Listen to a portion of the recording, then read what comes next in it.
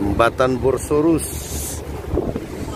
pemisah antara benua Eropa dan Asia yang berada di Istanbul, Turki.